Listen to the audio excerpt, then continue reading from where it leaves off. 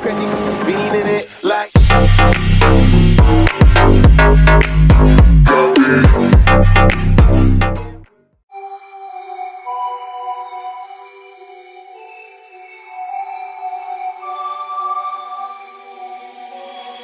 Right